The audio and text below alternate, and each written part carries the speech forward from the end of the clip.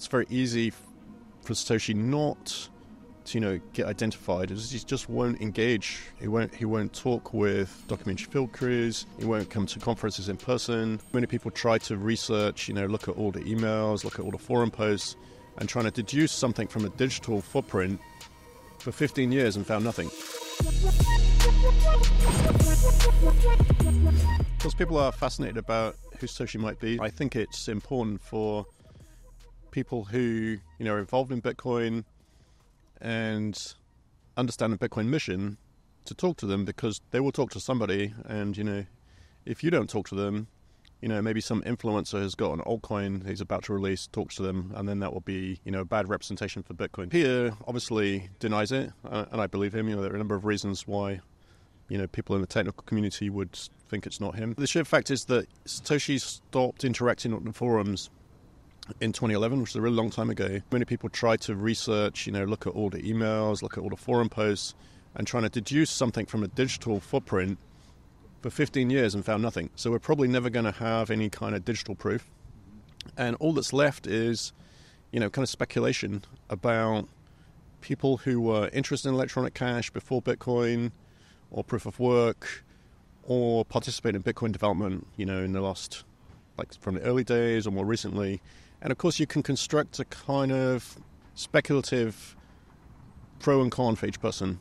And there are dozens of such people, right? So I think it's all speculation at this point. You're one of the first people that received an email from Satoshi. So, I mean, it's not, that doesn't mean that you know who it is or you have a better idea of who it might be because you received direct correspondence with him. But it is very interesting that you are literally one of the people that interacted with Satoshi, and all these years later, you actually don't care that much. And that's my next question is does it even matter who Satoshi is at, at this stage if Bitcoin is running the way it does and it's becoming as mainstream as it's becoming? I mean, I think it's actually, you know, convenient or good for Bitcoin that it doesn't have, you know, an eccentric or strident founder type of person because I think the average person's intuition is to look for a leader or project. And some projects do have you know, loud and vocal and maybe obnoxious or eccentric leaders. Like, you know, Elon Musk is a bit of an eccentric character with Tesla and now Twitter. And, you know, Linux system, which is a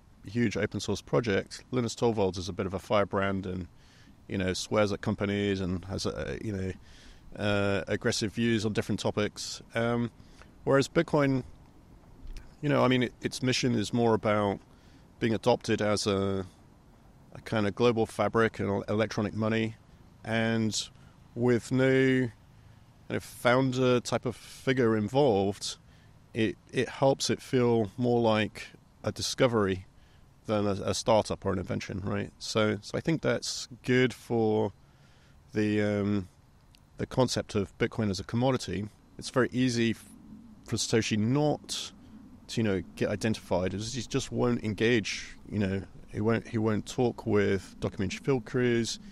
He won't come to conferences in person.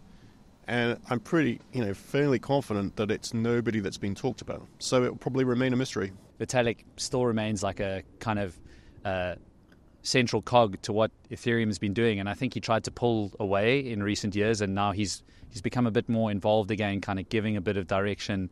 Um, is that is that a detriment to what they're doing, or do you think it matters that they have someone who's so involved and uh, so directional in, in where that blockchain ecosystem should be going? It's impossible to kind of recreate Bitcoin because you know it bootstrapped from nothing organically when people didn't expect it to, and now there's an incentive for people who want to kind of imitate that um, to start a kind of pyramid scheme almost, right? Where they will take some investor money, do some marketing, and sell the coins. And so, you know, that's one of the dramas that, you know, each of these kind of foundations, and they're almost like startups or companies, really.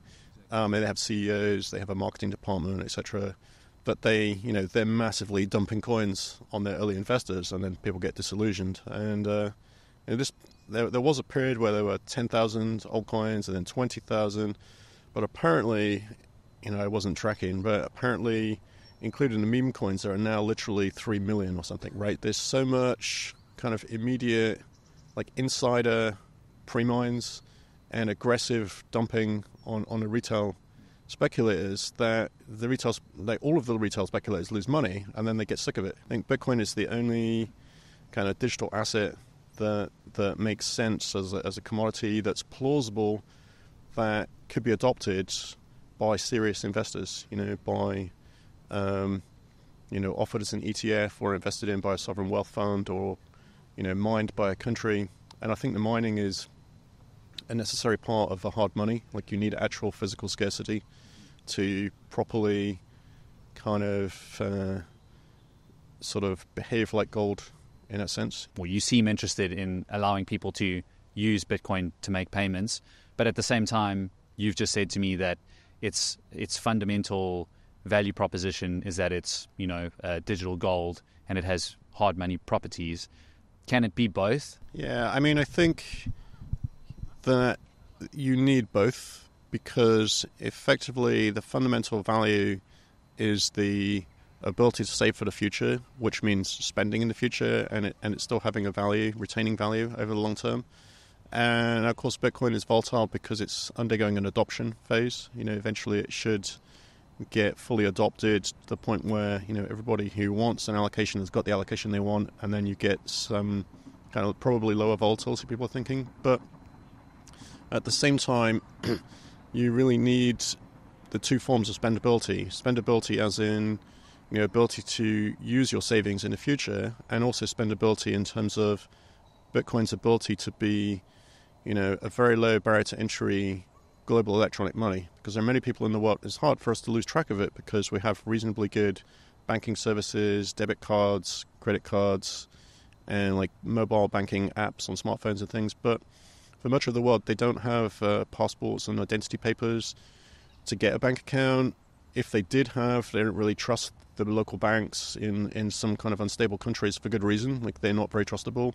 Um, and so it's difficult for them to participate in a global economy. You know, the introduction of Bitcoin in some of those countries, like El Salvador as an example, actually you know, allowed people to leapfrog from paper cash straight to you know uh, sort of peer-to-peer electronic money without going through the you know the banking trusted intermediary phase. So I think you know one target for Bitcoin adoption is you know as well as the growing usage as electronic money is for it to compete with gold and get somewhere near gold parity.